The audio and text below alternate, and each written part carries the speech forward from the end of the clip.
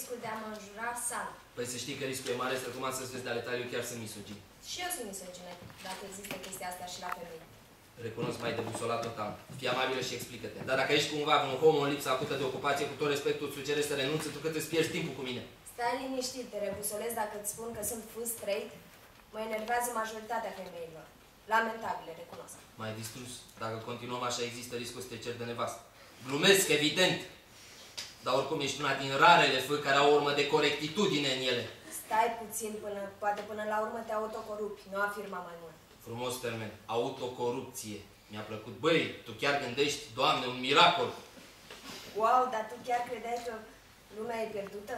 Chiar acum mă cer cu o curvă bătrână care face pe moralista făcându-se că uită câte a comis în tinerețe și care îmi spune cu o infinită condescendență specifică nesimțirii de altfel că sunt defazat și că am comportament deviant.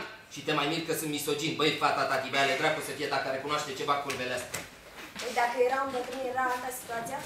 Nu. Bătrânețea depravată sau rea dezgustă indiferent de sex. Eu am 35, tu câți ani ai? Nu minți. 18. Acum simt că urmează un șir lung de exclamative, onomatopee and so on. Ce? Ce? Ce? Pardon, interogative. Dar se pare că vor rămâne retorice, fiindcă nu pot decât să privesc și să tac. N-am cum să dovedesc, nu? Ai avut dreptate. Puiule, o relație cu o fată ca tine trebuie păstrată cu orice preț. Vreau să fie foarte clar. Nu îți fac avansuri și nu ne vom cunoaște niciodată. Dar aș dori să mai corespondez cu tine. Scriem la misoginul justițiararondiahu.com. Te rog. Îți garantez că pot fi politicos și chiar uneori plăcut cu persoane care îmi sunt simpatice. De acord? More than clear. Deci să înțeleg, ai reținut adresa și îmi vei scrie. Nu e deloc așa. Dai că nu ne iubește. N-am văzut un tată care să facă mai mult pentru copiii lui. Pentru că sunt așa introvertită și emoțională, lui taică nu trebuie să-i mulțumesc, nu să-l înjur.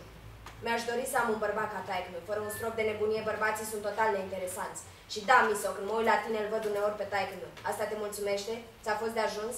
Now hurt me, daddy. Adică tai că tu te-a bătut? Niciodată, prostule.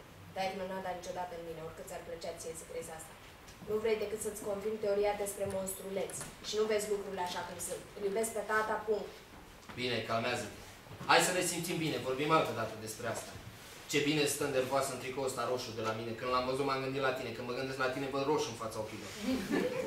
Te enervezi rău, tăuraș? Mă umpli de dragi, de durere, mă exciți, ești tinerețea mea, mă umfleți roșie și țipătoare. Mobilul fetei vibrează în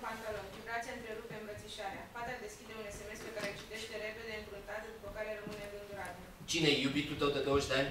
Nu, prieten. Miso se așează brusc în genunchi în fața Sânzianei. Sânziana stă pe pat, iar la mișcarea lui Miso se sperie un pic, dându-se puțin mai în spate. Monstruleț, hai să fugim în lume, să fugim amândoi, să ne pierdem urma, să ne doară în cur de toți, să nu ne mai sinucidem, să trăim așa, numai noi doi, hai cu mine. Unde să fugim, Miso?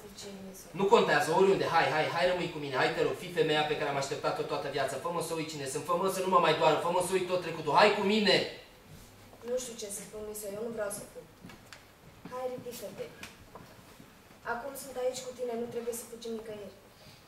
Să zi, nici îți imaginezi cât te iubesc. Uite ce ai făcut din mine, uite ce ai făcut din Gigi Duru. Se aude un ciocănit stins în ușa camerei.